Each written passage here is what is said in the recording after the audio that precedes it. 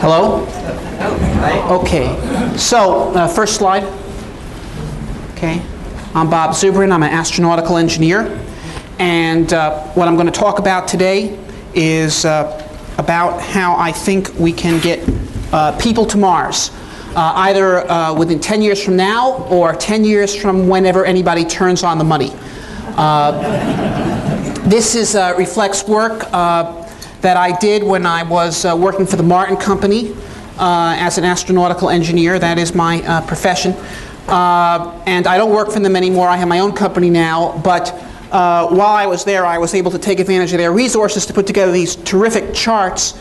And um, one of the great benefits of working for the Martin Company is that when you quit, you get to keep your charts. And so I figured I'd use them in the presentation tonight, because, to this afternoon rather, because after all, you did pay for them. Uh, Okay, so I'm going to talk at some length about how humans have explored the Earth, and uh, although uh, I talk about it in a lot more length in my book, which if you're interested after the talk, I'll be signing them in the, in the back at the, at the table there. You could find out more about it. Uh, uh but before I talk about how humans have explored, can explore Mars, I'm going to spend a few minutes talking about how humans have explored on the Earth. Because I believe it's only by looking at how humans have successfully explored on the Earth that you can develop intelligent plans for how we can explore on other worlds. So I can have the next chart. Okay. This here is a uh, photograph of one of the great uh, ships in the history of human exploration of the Earth. Now, she doesn't look like, like a great ship. You can see how diminutive this vessel is by the two people standing next to her over here. And yet, it is one of the great ships, despite the fact that if you cut off you know, her mast and bowsprit, you could put her inside of the space shuttle payload bay. This, literally, that's true. This is the Gjøa. This is the ship that Captain Amundsen used to do the first successful Northwest Passage. Now, in many respects, this mission was a lot like the first human mission to Mars might be. First of all, it was three years in duration, which is comparable to the length of the first round trip to Mars is, is likely to take. The crew was a crew of six, not 60, not 600, just six people, which is about the size uh, that we're likely to have on the first uh, human trips to Mars.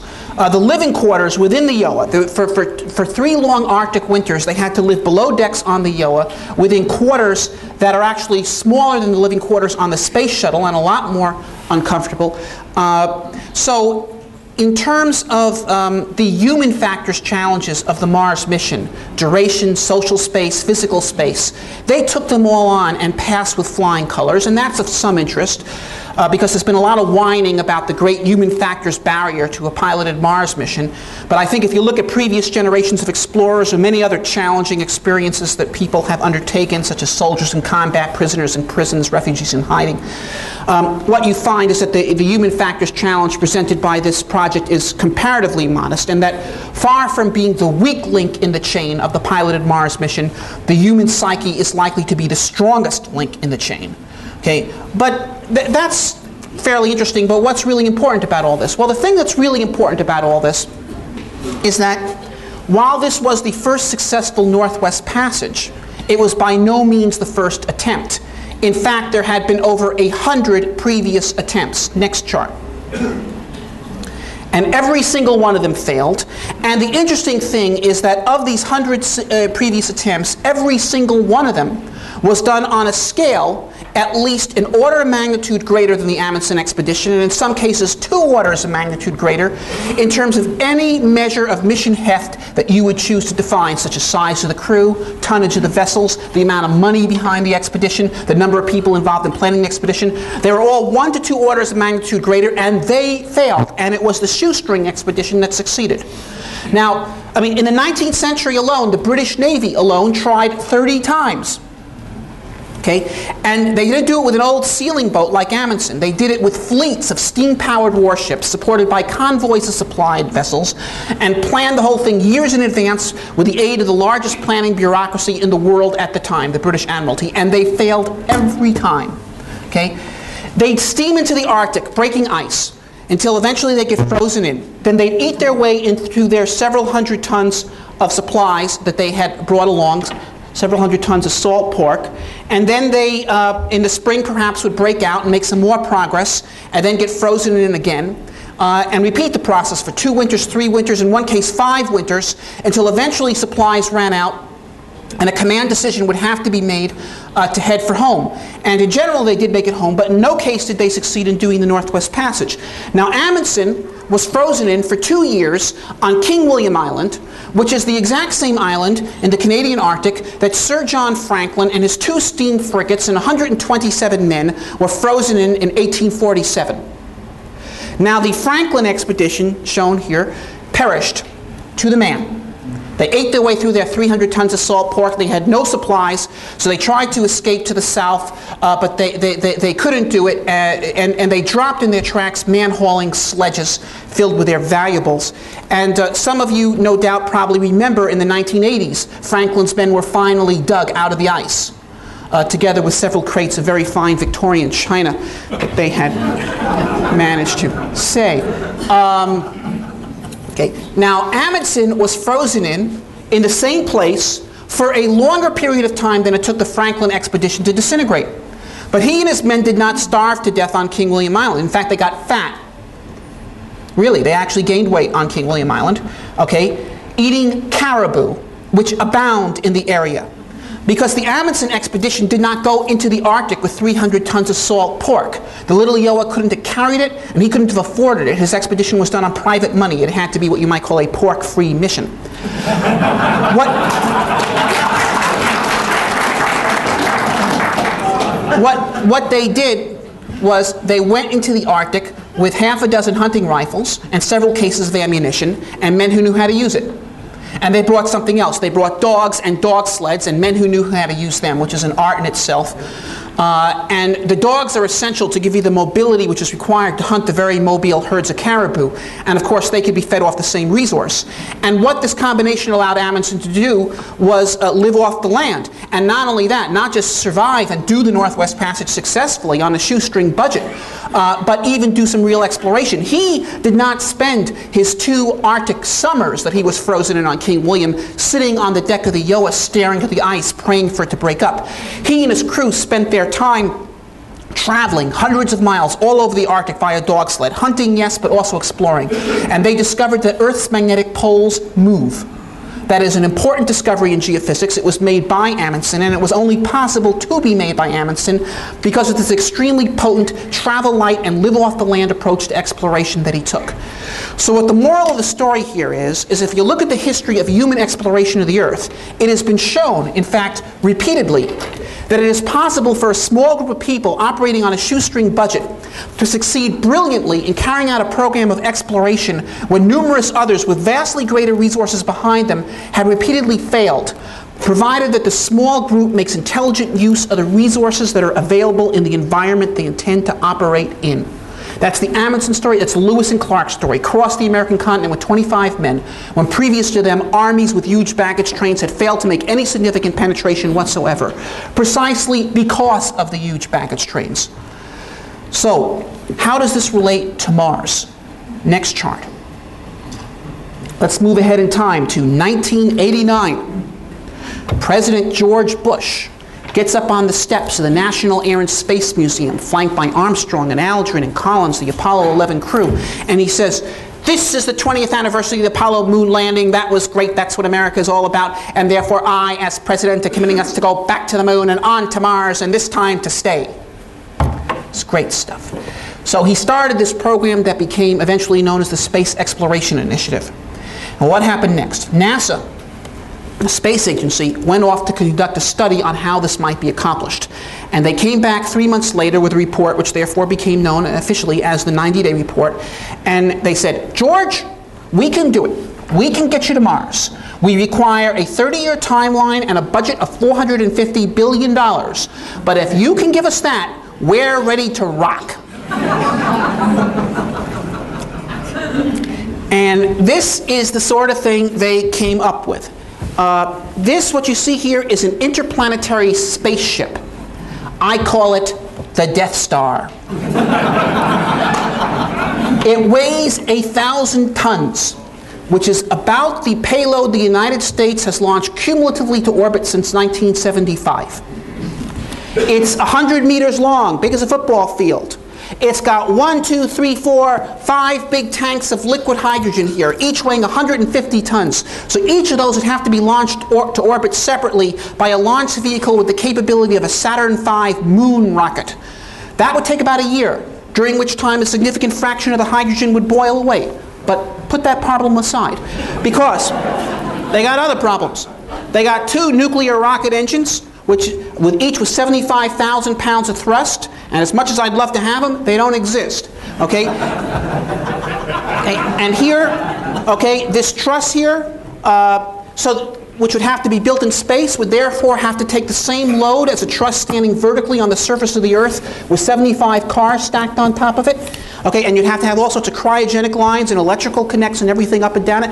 And then there up front's the payload. It's kind of complicated. We won't even talk about it, except to note that it's positioned behind a 100-foot diameter aeroshell, which is much too big to fit inside of the launch fairing of any launch vehicle that anyone's willing to discuss. So that would have to be uh, built on orbit with all the structural integrity of an aeroshell that's going to hit Mars's atmosphere at Mach 30. And uh, in fact, the whole vehicle obviously has to be built on orbit because if you tried to build a launch vehicle that could launch this in one piece, you'd blow away Orlando when it took off. so, indeed, uh, it could be built on orbit. Next chart in 10 easy steps, as illustrated here, provided you had available to you uh, orbiting hangars, construction docks, power generation stations, cryogenic fuel depots, checkout points, crew construction shacks, an entire paraphernalia of orbiting infrastructure that collectively I call the parallel universe. okay, so that, that's the 90-day report plan. Okay, you spent $450 billion to build the parallel universe. This, by the way, is why parallel universes are not generally observed. It's, it's not because they are physically impossible, it is the financial problem of creating them. Okay, the, uh, anyway, because uh, physicists have shown that parallel universes are straightforward. Uh, the, uh, okay, so you build the parallel universe, and then you build the Death Star, and you sail it off to Mars, all for just half the cost in current money of the U.S. war effort in World War II. Uh, so, uh, a number of us engineers at Martin were aware of what was in the 90-day report before it came out, as I think a lot of people in the industry were. Uh, and we went to management and we said, look, uh, this is not going to work. Okay, we could give you a whole bunch of technical reasons why this won't work, but you wouldn't understand that. Actually, we left that part out. Uh, uh, no, so, but even you, I mean, actually, no, we said it more like, but you can certainly understand, okay, that nobody is going to give them 30 years and $450 billion in order to do this. Okay, and uh, you know, those of you who are acquainted with you know upper management in corporate America can readily appreciate the fact that the management of Martin Marietta uh, is or was composed exclusively of brilliant visionaries with lightning quick minds. okay, uh, and uh, so they said, um, well, let's wait and see.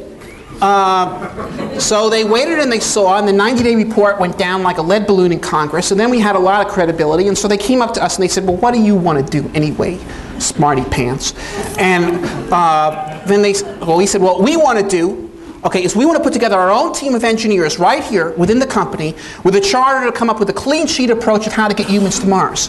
And here's the deal. We don't want to have a bunch of managers or marketeers or people like this coming in here and telling us we got to design the mission this way or that way because we know this guy down at the Johnson Space Center or the Marshall Space Flight Center or someplace who's pushing this technology or that technology and they really want to see it included in the mission. Uh, we don't want to have that because you see, that's what had driven the 90 day report so berserk. It wasn't that the people who designed that mission plan were stupid. Individually, almost all the people involved in the 90 day report effort were extremely intelligent and competent engineers. Just collectively, they were a nuthouse. Okay? Because what they were trying to do was they ended up designing the most complicated mission they possibly could in order to make everyone's technology mission critical, which is the exact opposite of the correct way to do engineering. Okay, so it was going to be hard enough to come up with an attractive plan for human exploration of Mars without being driven by such imperatives. So they said, okay, you're on. Okay, so we put together a team of people, just 12 people within the whole Martin company, and I was one of them. Uh, to, to do this. And because there were a lot of uh, creative spirits on this team, uh, we could not agree with each other, and so we actually came up with three different plans. And uh, rather than reconcile them, which was impossible, we chose to float them all to NASA in the spring of 1990. And it rapidly became clear that the Mars Direct plan, which I was largely responsible for along with another fellow named David Baker, uh, had the most potential for overthrowing the situation. It was by far the most radical departure from this kind of thinking, and that involved no on-orbit assembly, no use of the space station, actually, uh, no orbital rendezvous of any kind, no use of advanced propulsion, uh, and yet it was the nearest term uh, form of mission, and uh, that uh, it had the most potential for overthrowing things, and it was attracting a great deal of support and a great deal of heated opposition. Uh, but um, before I, I, I, go into any further discussion of the political evolution of it, I'm, I'm, now going to talk about the plan itself. What was this new and totally different approach to Mars, the Mars Direct Plan? Next chart. Okay, well, any uh, space plan has got to have a launch vehicle. And so we designed one, which we called the Ares, after the uh, Greek name for uh, Mars. And the Ares was basically a junkyard special. That is, it's built of things that are either in junkyards today or, frankly, really should be. Um, okay, now, the, and the purpose of designing the vehicle that way is simply this. Okay, this is what has to be understood if you're going to design a plan to get humans to Mars. That the problem of getting humans to Mars is fundamentally the same strategic problem as that facing the children of Israel in attempting to cross the Red Sea. Okay, that is, here's your problem. You're trying to get somewhere. There's this impassable obstacle in front of you. It cannot be traversed. Then all of a sudden, a miracle happens. Moses parts the waters. Bush gives a speech. Now there's two cliffs of water standing there with a path of dry land between them. Okay, you can get across. But you cannot do this on a 30 year timeline. Okay, Okay, because the Egyptians are behind you. Okay, you know, DeMille's special effects budget is limited. Okay, you know, God's patience isn't infinite, and the U.S. Congress is worse. So, in other words, if in 1961 John F. Kennedy had said, "I want to have people on the moon by 1990," instead of by 1970, which is of course what he did say then by 1968, when administrations changed and we were in the middle of the Vietnam War and have a totally different national mood from that of the early 60s, and maybe the space program might have been in the middle of the Mercury flights, people would have said, what the hell is this? And they would have canceled the program, and people today would, would be saying that going to the moon was just this impossible dream of this, you know, child president, and, uh, you know, that it was impossible. No. Okay, if you want to go to Mars, you cannot do it in 30 years. You cannot do it in 20 years. If you want to get people to Mars, you've got to do it in 10 years or less. 10 years from when you start the program or less. Otherwise, you are guaranteeing that the waters are going to come together on you before you get across because no consensus can be held together for that long. Okay, so the junkyard special. Okay, what is it made out of? Well, the central object that it's made out of is the shuttle external tank without the ogive, which is the conical top of the ET. We don't need that because that's there for aerodynamic reasons. Uh, Okay, and then you have uh, four space shuttle main engines here. Okay, uh, hanging off in that pod, so you can use the um, shuttle launch pads, which have the flame trenches positioned appropriately for that location. Uh, those engines, by the way, are available. They, are lying around in crates near the Rocketdyne plant in Canoga Park, California, and you can actually get them for free if you go at night, because it's true. They've laid off the night watchman. The earthquake took down the fence. It's not a problem. Uh, then you got two solid rocket boosters there. People in Utah would be happy to sell them to you. Check the O-rings before deli accept delivery. Um, then uh, upstairs there's a hydrogen oxygen upper stage. We know how to build that. And on top of that, uh, there's a fairing, a payload envelope, 10 meters in diameter, so it's much fatter than the, the four and a half meter uh, shuttle and Titan 4 payload fairings. And, and that's the Ares. Now, people ordinarily rate launch vehicles by what they can lift to low Earth orbit or LEO. And if you want to know, an Ares can lift 121 metric tons to LEO, and that's pretty good. It's a lot better than a shuttle, which can do 25 maximum. Uh, it's even a bit better than the Russian Energia, which can do 100. It's a little worse than the Saturn V, which could do 140. But it's basically in the Energia Saturn V class. But like the Saturn V, and unlike, for example, the Space Shuttle, this vehicle has an additional capability. Because it is a staged vehicle, it can use that upper stage to throw payloads far beyond low Earth orbit, to throw them directly into interplanetary space. It can throw 47 tons straight to Mars or 59 to the moon. And you see, that's how we want to do the piloted Mars mission. Lift and throw the payload to Mars with the same upper stage or the same booster that lifted it to orbit in the first place. Why? Because that's the way we've done every real unmanned interplanetary mission to date, as well as the lunar missions. Okay, uh, no payload has ever flown beyond G uh, low Earth orbit any other way. No one has ever flown payload somewhere by lifting it to low Earth orbit, transferring it to the station, waiting for the interplanetary battle cruiser to check in from its Saturn flight, get refueled, and take it out again. No, if you can do this mission with a simple lift and throw strategy, you've gone 90% of the way to taking the Mars mission out of the parallel universe and putting it in our universe, a brass tacks engineering. Okay, great. But how could you do that? Okay, this can lift 121 tons. The Death Star weighed 1,000. Okay? Uh, as I said, a super booster to lift that much is impractical. Well, we could divide it, you know, 1,000 by 120 is 8. We could divide the thing into 8 payloads, launch them to Mars, rendezvous in various places along the way or in Mars orbit or somewhere. Uh, and maybe you could fly a mission that way. It'd be pretty complex, but it'd be a pretty bad idea. Because if you have a mission plan that involves 8 launches and they're all mission critical and one goes in the drink, you've lost the whole mission. Okay, so that, that's not going to work. Dividing it into two launches and counting on two launches both working, uh, that's uh, uh, reasonable, and in fact I do do that in my plan, but that still leaves you 500 tons each. Okay, uh, well, what else could you do? Well, um, the NASA mission plan used what I consider an irrational trajectory, which is known as an opposition class trajectory. They uh, involved a mission which uh, spent around 1.8 years in interplanetary space in two unequal legs, outbound and inbound, and a little less than a month at Mars. Okay, this is known as an opposition class mission. It was designed to meet the NASA figure of merit for the Mars mission, which was minimum time away from Earth. However, the opposition mission First of all, greatly increases mission mass because it has a lot of extra propulsion requirements required to do that trajectory because uh, it's not really a natural trajectory. And uh, another bad feature of it is that it does very little when you get to Mars because you're there for less than a month. If the weather is bad, you don't even get to land. And a third disadvantage is you probably kill the crew because you have to do a flyby into the inner solar system on one of the two legs. I call it a Venus flyby uh, in, in order to fly the trajectory.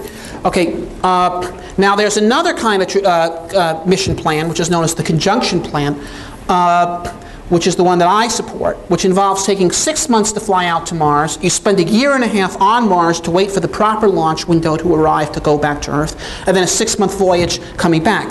So you are away from home for longer than the opposition class mission. You're away from home for two and a half years instead of 1.9 years.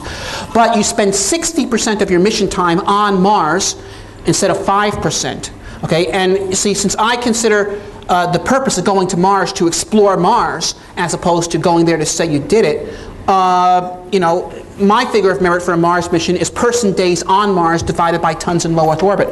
And the third advantage of this plan is that its propulsion requirements are a lot less than the opposition plan. So if you accept that, and I do, uh, then you use a conjunction class mission, in which case, the, if you had applied that to the, to the NASA plan, the mass of that ship would have dropped from 1,000 tons to 600 tons. Divide that in half, it's 300 tons each. It's almost possible, but still not quite there. What else could you do? Well, you could invoke advanced propulsion, nuclear propulsion, ion drives, fusion propulsion, your favorite clearly, uh, the uh, antimatter, how about warp drive? Uh, teleportation? Pixie dust? There's a lot of there's a lot of stuff out there that has more capability of chemical propulsion. Okay, and some of it will actually work someday. Nuclear propulsion can certainly be made to work. I mean, we had test engines in the 1960s that worked. But the problem is that it will take too long. Okay, that if you want to get to Mars in 10 years, you've got to use a propulsion system which is either on the shelf right now or practically so.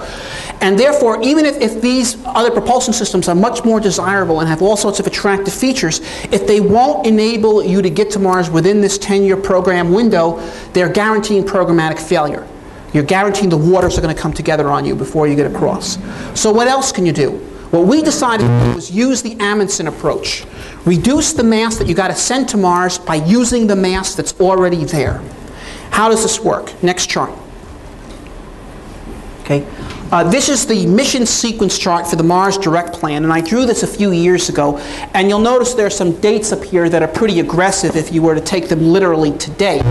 Uh, and certainly with the current political configuration, these dates will not be achieved. Uh, however, I leave them up there in order to make the point clear that I am talking about a near-term Mars mission. I'm talking about a Mars mission that can be designed by people who are engineers today and flown by people who are in the astronaut corps today. Okay, uh, you know, I, am not talking about a Mars mission that can be flown by Captain Kirk or you know Picard. You, actually, you wouldn't want to send Picard to Mars because what would happen is as they got close to Mars, he would turn to Counselor Troi and say, "Well, what do we do now?" And she would say, "Well, how do you feel?" And uh, it, it, just is not what you want. Uh, the uh, now I'm talking about a Mars mission that can be flown by us. So how does it work? In a given year, I'll talk the dates that are on this chart so as not to cause confusion.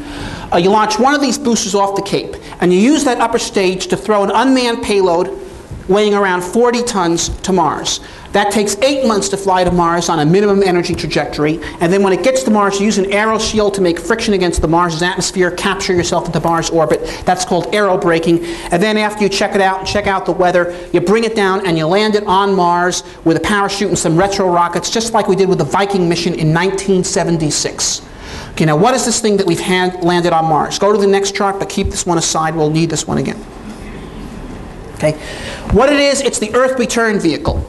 Okay, the Earth Return Vehicle is basically a little rocket ship.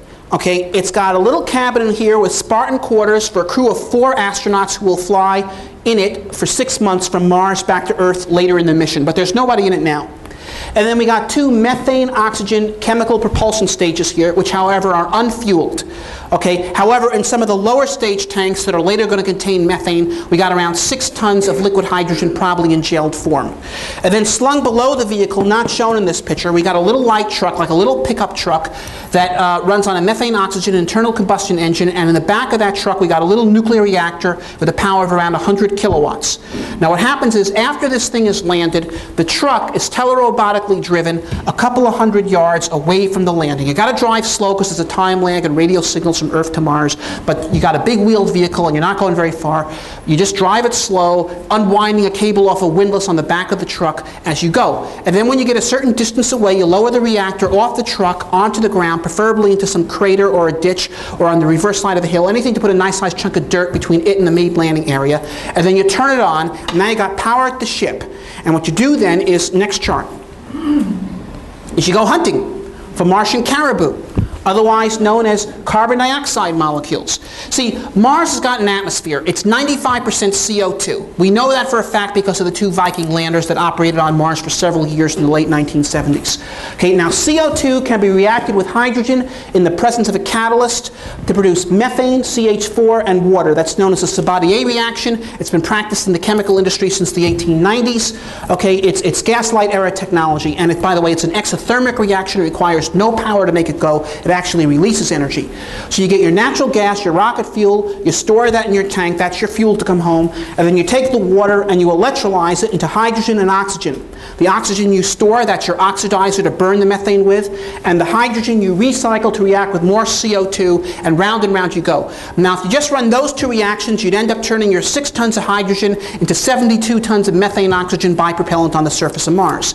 That's a leverage of 12 to 1. That's pretty good. But you can do better than that because the ideal mixture ratio for burning methane with oxygen requires more oxygen than those two reactions alone produce. So you run a third reactor in which you take in CO2 and you split it into carbon monoxide and oxygen directly. You keep the oxygen for more oxidizer and you vent the CO2, the CO rather, as waste. You can do that on Mars. There is no EPA there. okay. So when you're all done, okay, you've taken your six tons of hydrogen from Earth, you've turned it into 108 tons of methane oxygen bipropellant on the surface of Mars. That's a leverage of 18 to 1. It's like a pioneer being able to acquire the useful mass of a bison for the transported mass of several bullets and cartridges. And that's what makes the whole mission sing. 95% of the return propellant is coming from Mars, only 5% of it in the form of the hydrogen feedstock is coming from Earth.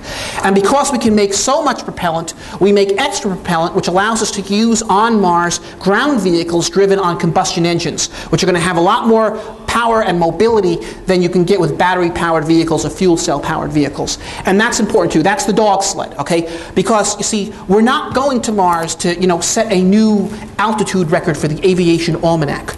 We're, we're going there to explore a planet, and the most important requirement to explore the planet is mobility on the planet, and that's what locally produced fuels allow you to do. Next chart. Uh, oh yeah, a lot of times it's easy to write charts like that and show the chemical equations and it all adds up and something else entirely to make it work in practice. That's not the case here.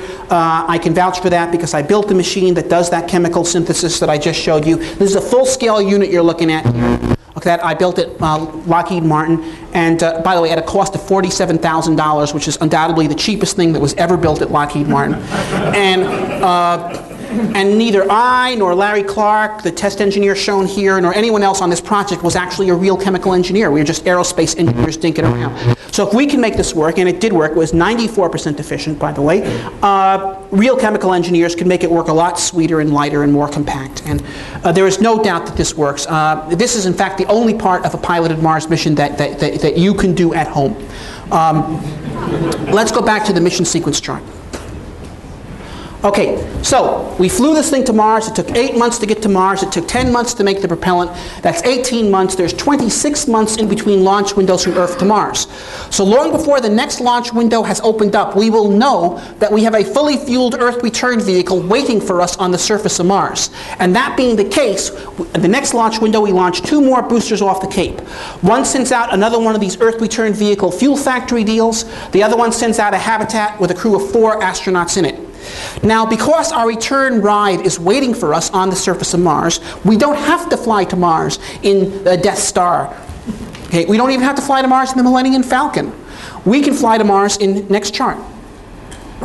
A tuna can. Okay, which is a big advantage because we know how to build tuna cans, and they have been proven in commerce to be an extremely efficient shape for volumetric packaging. Uh, although this one is uh, somewhat larger than the standard chicken of the sea model, it's 27 feet in diameter and 16 feet tall, so it's got two decks, each with 8 feet of headroom. The upper deck is where people actually live, the lower deck is more of a garage, cargo hold, workshop kind of area. Next chart. Here's the upper deck of the HAP. Uh, you can see there's a little stateroom for each of four astronauts. There's a science lab, an exercise area, a galley, and in the center is a uh, solar flare storm shelter. Okay, uh, briefly, uh, I think a lot of people here may know this, but there's two kinds of radiation that can get you in interplanetary space. There's solar flares and there's cosmic rays. They're very different from each other. Solar flares are uh, events that originate in the sun with a huge rush of radiation that can deliver thousands of rems in the course of a few hours, which is enough to kill an unshielded astronaut uh, in, in fairly short order. Okay, that's bad, and they occur at an unpredictable basis, perhaps one big one a year. Uh, Okay, so that's the bad news. The good news, however, is that the kind of radiation they're made out of is protons with energies of about a million volts. And they can be stopped by five inches of water, or things that from a nuclear point of view are fundamentally similar to water, such as food, or things that water and food become as the mission proceeds. And we have enough of that stuff on board to shield a small region of the ship so that when a solar flare happens, the alarm bell rings, you go in there, you're cramped in there like commuters on the New York subway for a few hours. Okay, very similar situation, except you probably don't have panhandlers coming through. If you do, you have another problem. Uh, but anyway, uh, uh, you stay in there for a few hours until the flare ends and then you come out and that's it. End of the story. That's how you deal with solar flares. Now the other kind of radiation is cosmic rays. Now these are particles that don't come from the sun. They come from somewhere in interstellar, perhaps even intergalactic space. No one really knows where they come from. And uh, they occur not just once in a while in a big rush, they occur all the time as a constant pitter patter of very high energy radiation. And they're particles with energies not of millions of volts, but billions of volts. So you can't stop it with a few inches of water. You need meters of shielding to stop them. And the mass to support that amount of shielding is unavailable on the ship, so you're going to take the dose. That's the bad news. The good news is that the magnitude of the dose isn't that big. It's around 50 rem a year for every year you're in interplanetary space in the Earth-Mars region of the solar system. Okay? And you're going to be in space for a year on this mission, then six months out, six months back. When you're on Mars, you can have a lot more shielding from the Martian environment. But, uh, so you're going to take around 50 rem, and that represents about a 1% risk, assuming the linear no threshold hypothesis. That represents a 1% risk. Okay? It could very well be less than that. Uh, uh, of getting a fatal cancer at, at some point later in your life. Uh, now, you already have a 20% chance right now, so this would make it 25. Okay? If you smoke, it makes it 40. Okay? So if we recruited the crew from smokers and sent them to Mars without their tobacco, we'd actually be reducing their chance of getting cancer. Now, the other thing you'll notice about this habitat is um, uh, that in one sense it's a very conventional layout. We've got a table and chairs and shelves and a sink. This thing is designed for use in a gravity environment. Uh, and why? Because we're going to land it on Mars where we're going to have gravity and we're going to use it our house on Mars. And on the way to Mars, next chart, we're going to make gravity by tethering off the burnt out upper stage of the booster that threw us to Mars. This is the Ares upper stage, threw us to Mars, so it's going to Mars too. Doesn't take any extra fuel to make it go to Mars. It's just a hulk, but could use it as a counterweight on the end of a tether, and you spin this thing up at 1 RPM, uh, and you can create Mars normal gravity in the HAB. And the reason why you do that is to avoid the severe deconditioning that was observed on the cosmonauts during the 1980s and 1990s in long duration space flights on the Mir space station. Okay. Now, however, uh, and I, I, still think this is the best way to fly to Mars, artificial gravity to avoid the bone and, and, and muscle loss uh, that the cosmonauts experienced. Uh, you know, you may know that, that, whenever they landed after six months or more in space, that they had to uh, come off the, the landing capsule on a stretcher. They were in terrible shape. However, since that time, we have a new data point. Next chart. Here's Shannon Lucid. She's the American astronaut that went to Mir and stayed on Mir for six months last year. Six months is as long as it takes to fly from Earth to Mars. And she walked off the shuttle when she landed. And here she is. This is the day after she landed. She's walking around Johnson Space Center, shaking hands with Dan Goldin and Bill Clinton, and she's still not sick. So, so how did she pull?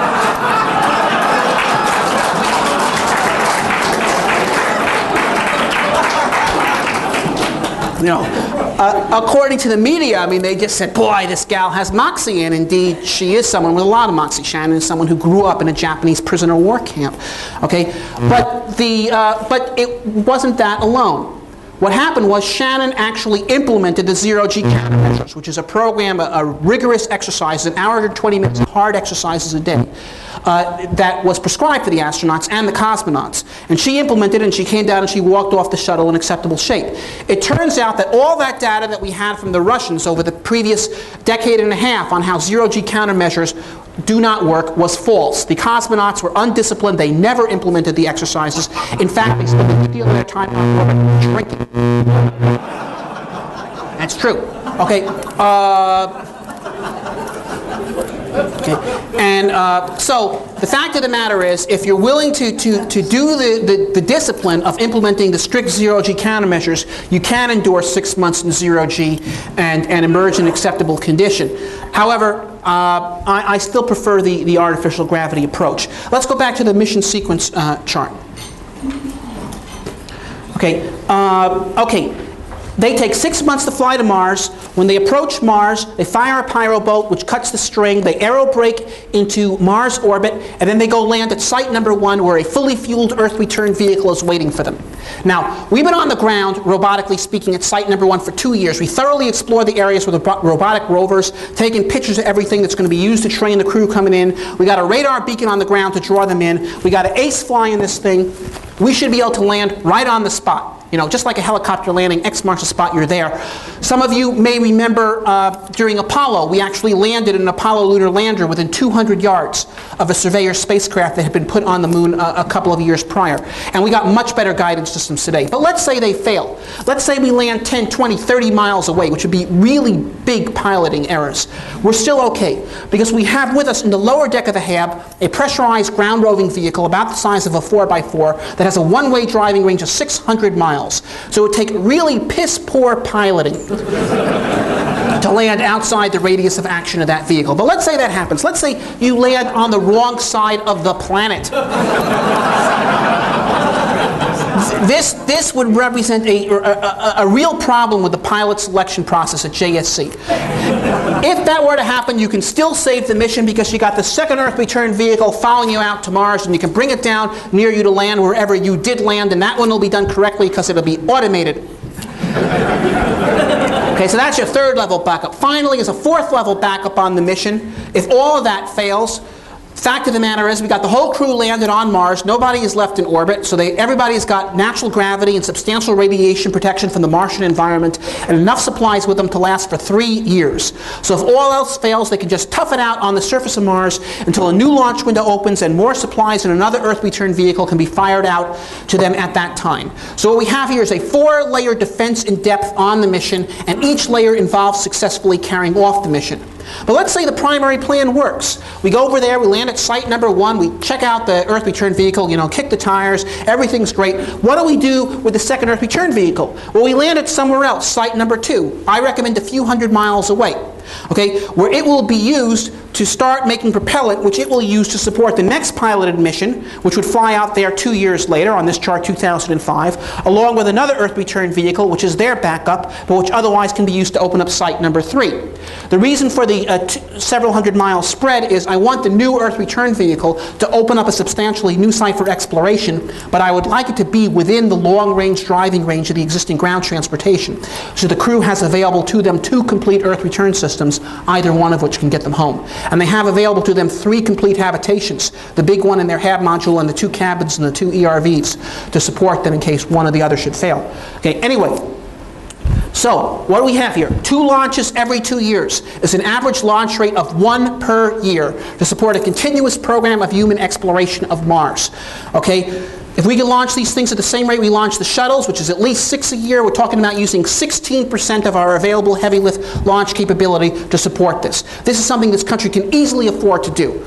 Okay, you know, I, you know, given that we have a space program and it's supposed to be exploring space, I, I find the idea that we should at least use 16% of our capability to do that reasonable. Okay, next chart. This is a actual um, uh, photograph of the um, of the Mars base. Uh, there's the Earth return vehicle, the capsule up top, the two uh, methane oxygen chemical propulsion stages, the chemical plant built into the landing stage on the bottom. Here's the nuclear reactor in the crater in the background, which powers the chemical maker. Here's the tuna can HAB upstairs where they live, lower decks the garage. Here's a um, the pressurized ground rover they use to explore. With the 12 tons of methane oxygen that we make for its use, it can go um, 24,000 uh, kilometers, 16,000 miles. That's the amount of exploration we can do in the 500 days we're going to be on the Martian surface exploring. And here's some photovoltaic panels, which are backup power in case we ever have to turn the nuke off. And here's a uh, inflatable greenhouse where they're doing experiments in growing crops on Mars. Now, we're going to be on Mars 500 days, and we're going to be exploring the planet for two purposes, basically. I mean, there's lots of other things we're going to try to find out, but there's two primary questions that have to do with Mars that we need to know the answers of. Question number one is, was there, or perhaps is there, life on Mars? Okay, everyone here, unless you were on Mars yourself last summer, heard about the Mars meteorite and the evidence for life that was found there by a NASA uh, Stanford Lockheed team. Uh, and that evidence is controversial, although in my personal point of view fairly strong, although not conclusive. Uh, however, uh, next chart. Even uh, before that was ever discovered, we had lots of evidence to suggest that we should be looking for life on Mars. See, these are pictures taken of Mars by the Viking orbiter, and there's water erosion features on Mars all over the place. Okay, and in fact, the evidence is very conclusive from, from these sorts of images that Mars was once a warm and wet planet and was so for a longer period than it took life to originate in the fossil record on Earth. So if the theory is correct that life is a natural development in water-rich temperate environments, uh, then life should have appeared on Mars, even if it subsequently went extinct. And if we can go to Mars and find direct evidence of this in the form of fossils on Mars, uh, what you'll have proven is that not just that life was on Mars at one time, you'll have proven that life is general throughout the universe. You'll have proven the universe is alive. Because what you'll have done is proven that the origin of life is a high probability event wherever the right temperatures exist. And every star has an appropriate zone for the right temperatures for liquid water. And we're also now seeing that a lot of stars have planets. So it'd be pretty conclusive that when you're looking up in the night sky, sky you're seeing a million inhabited worlds. On the other hand, if we go to Mars and do some real field exploration here, and at the end of some serious searching, we find no evidence that life ever originated on Mars, then that could send the opposite message, that despite the fact that it was a warm and wet planet and had similar conditions than the Earth for a longer period of time than the Earth took to get life, Mars never developed life. What that could say is that there's an element of freak chance involved in the development of life, which means we could be completely alone in the whole universe. And it's a question of immense philosophical importance, and uh, it's certainly worth the effort to, to find out. Okay, so we're going to go and explore for that. And then at the end of a year and a half of doing this sort of wide-ranging field exploration, we get in that Earth return vehicle, put the key in the ignition, start her up, and head home direct for Earth. We leave the habitat and all the other equipment behind on Mars. That's a good idea. You don't want to bring it back to Earth. We have a lot of stuff here now. The idea of doing Mars missions is to bring as much stuff to Mars as you can, leave as much behind, come back with as little as you can, so that next chart so that at the end of a sequence of missions, this shows a sequence of missions, the circles, the centers are where the landings are, the, uh, the circumferences are, are, the radius of actions of the ground vehicles. Uh, you can see, by the way, at the end of eight missions, we'll have succeeded in relocating Texas to Mars. Uh, this appeals to people in Colorado. Uh, no, actually, Texas is just here for scale, but you can see that each one of these missions can explore an area about the size of Texas. Okay, and there's a lot of exploring to do. Okay, and um, and basically what we're doing here is just setting up a string of, of warming huts so you can drive from one to the next, opening up contiguous human territory to human cognizance on a large scale. But after a certain number of these missions have occurred, and I don't know whether it's one or three or 12 or 50, okay, but eight might be a reasonable guess, you're going to have substantially solved this question number one of whether there ever was life on Mars. You'll have gotten the answer one way or the other, and you'll also have some assessment of how far it got. Okay? And then the fundamental question on Mars is going to shift to question number two, which is ultimately the more important question, which is not was there, is there life on Mars? The most important question on Mars is next chart. Will there be life on Mars? Okay? Because you see, Mars has on it all the elements that are needed to support not just life, but technological civilization. It has the elements of life. It's got a carbon dioxide atmosphere. Nitrogen's the minority constituent in the atmosphere. There's water on Mars, frozen into the soil. It's permafrost, but nevertheless lots of it. In fact, there's so much permafrost on Mars that if the planet were smoothed over and the permafrost was melted out, you'd have enough water on Mars to put the whole planet under an ocean 600 feet deep. Now, that is dry compared to the Earth. If the Earth was smooth, would be under 6,000 feet of water, because we are a water planet. Okay, but it is comparable to the Earth without its saltwater oceans. Okay, and it's certainly enough to support a biosphere, and it contrasts very favorably to the Moon. I mean, the Moon is so dry that if there was concrete on the Moon, lunar colonists would mine it to get the water out. Okay, now, there's lots of water on Mars, and it's got a 24-hour day, and with carbon dioxide in the atmosphere and nitrates in the soil, you can grow crops on Mars. Okay, and then you can also, of course, with carbons and hydrogens, you can make plastics. In fact, everything you need on Mars to support a civilization in principle is there. But the thing that determines whether something is a just something that's there or something that is actually a, a resource depends not so much on the environment, it depends on you. Two people can be stranded in the woods, and, and one can starve to death in two weeks, and the other can live there indefinitely in relative comfort. Why? Because one knows how to use the resources that are there, and to the other they are invisible. Similarly, Mars. If we go to Mars, and learn the craft of Mars. Okay, we, yes, the Mars Direct mission, we start out right. We learn how to make fuel and oxygen out of the atmosphere. But we go beyond that to learning how to extract water from the soil or geothermal power from the subsurface or to make uh, bricks or ceramics or glasses or plastics or metals or wires or tubes or habitats. If we learn the craft of turning Martian resources into useful objects by making that mental transformation in our technological apparatus, we transform Mars into a habitable planet for us and for future generations. We open up a new world to humanity. Okay, and that purpose of that, and that's why you want to have a Mars base. So after a certain number of missions have occurred, you want to uh, concentrate your landings in one location where you'll develop a significant engineering research capability. Now, it'd be nice to have the HABs mated together so you could visit each other without having to get all dressed up and stuff. Uh, but you can't really land habitats on rocket engines with two feet of clearance. They have to be moved after they're, they're, they're on the ground.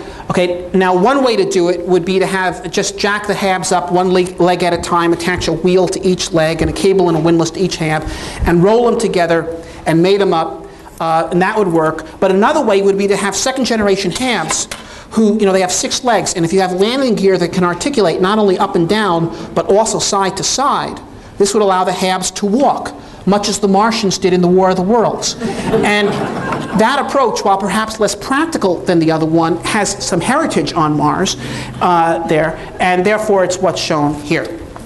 Next chart. Uh, I won't go into this because um, this is a talk in itself, but the same hardware that's used to build the Mars base can also be used to build a lunar base. You don't need a lunar base to go to Mars. It's not a good stopping off place to go to Mars, okay? I mean, you know, uh, it's worse than even stopping in Saskatoon, okay? Uh, uh it's just out of the way. But it's a good place to go to do astronomy, and it makes sense if you want to get both objectives to have hardware that can achieve both objectives, and that is the case with this mission architecture. Next slide. So that this is the entire set of equipment you need to establish human beings on both the moon and Mars. No giant Battlestar Galactica spaceships. No giant spaceports. Okay, uh, just a good booster with a good throw stage that can throw payloads to either the moon or Mars. You got a HAB module that you throw to either the moon or Mars, so you got to insulate it differently because of a different thermal environment. And you got an Earth return vehicle that only needs one stage to come back from the moon because it's a smaller propulsion requirement, two stages to come back from Mars. And you got an aeroshell module that you would use on Mars. You wouldn't want to use an aeroshell on the moon uh, unless it was made in a, a politically significant district, uh, in which case you might. But this is the set of tools that you need. Okay, and this is not a $400 billion program here. If you want to know, this is about a $20 billion program, roughly speaking, to develop all this hardware, and each mission by the copy uh, on the order of between one and a half and $2 billion after the hardware is developed. Okay, $20 billion over 10 years, 2 billion a year is 15% of NASA's budget, or less than 1% of the US military budget. And for something that would inspire an entire generation of youth to, to, to, to excellence in science education, uh, something that would be a challenge for our, our, development of our technology, and something that would give a, a new world to our posterity, I think it's a very small price to pay. Next chart. So I'm going to conclude with a quote there's a quote I lifted from a book called Of Plymouth Plantation, which was written by William Bradford. Bradford was, was the leader of the Pilgrims, and he wrote this book in 1621, one year after the Mayflower landing. And, and what he's talking about here is the debate that erupted among the Pilgrims when they were in Holland, and they didn't like the way things were going there, and, and didn't know what to do about it. And some guy came up with this totally bizarre suggestion that what they ought to do about it was relocate the entire congregation from the civilized Netherlands into the wilds in North America, because there at least they'd be able to cut their own path. There they'd be able to make their own world.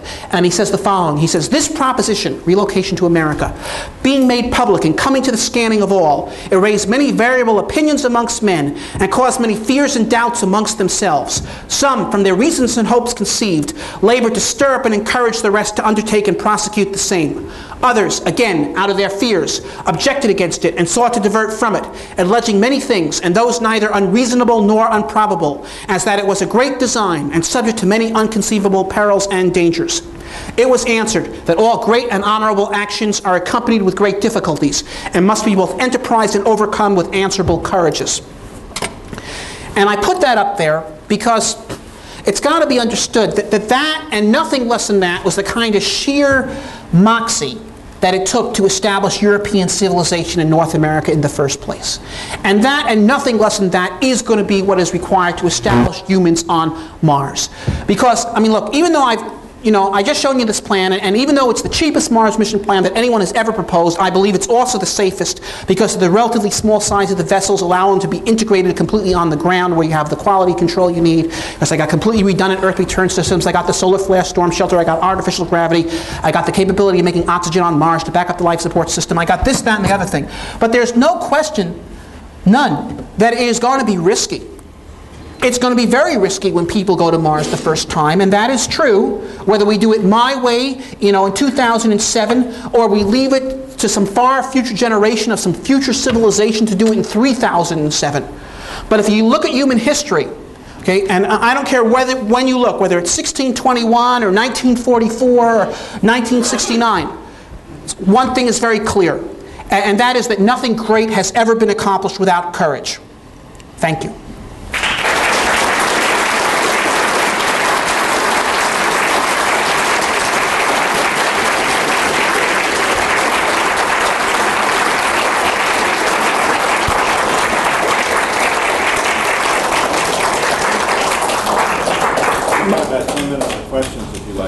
Okay, I'll, I'll, take a few questions and then I'm going to go to the back and sign books and answer questions there. Sir? Dr. Zubrin, I read your book. It's great stuff. There's one thing I didn't see in there anywhere, and that is to choose crew members based not on their ability to land planes on the deck, but by their weight.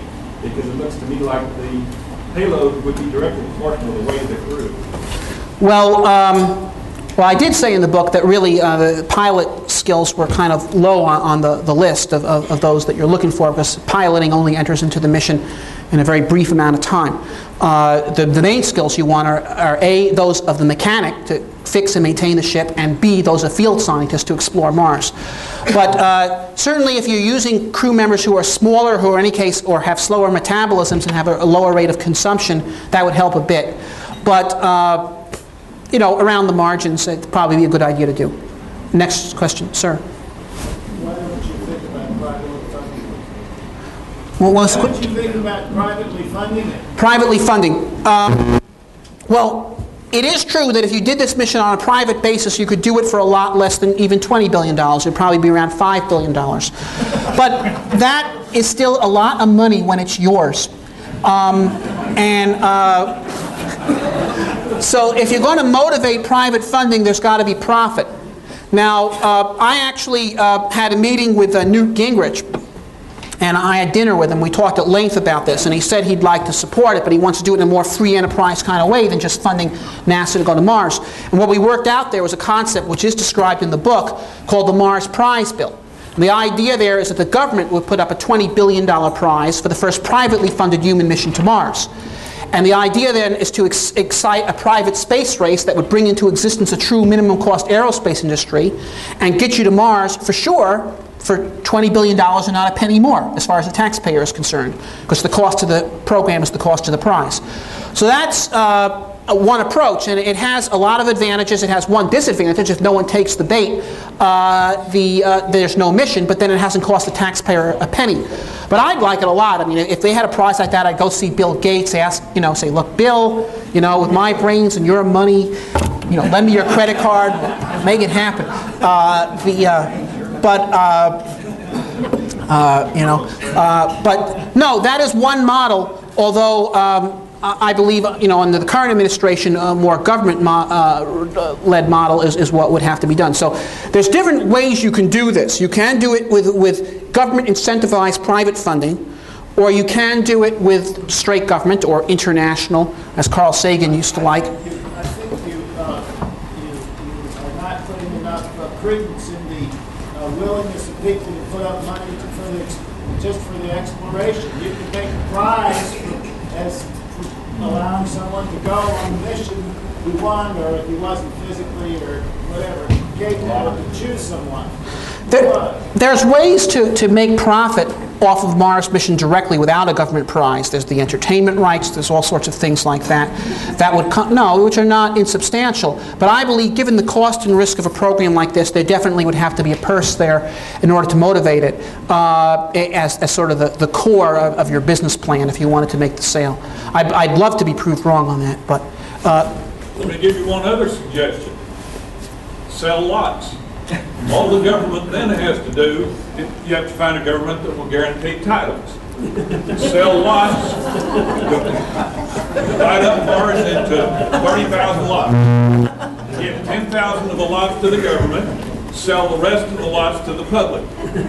Well, there, there's, I mean, some people are, are, are laughing, but actually he has a, a good point. The, the, the problem is, is there currently is no regime for guaranteeing private property on Mars. Or- there, there, that is, but that is, that's a very important thing. There's a lot of space exploration that could be financed today if there was a regime in which you had uh, uh, supported private property rights in space. For example, one could pass a bill guaranteeing the rights to mine asteroids to whoever scanned it to some degree of resolution.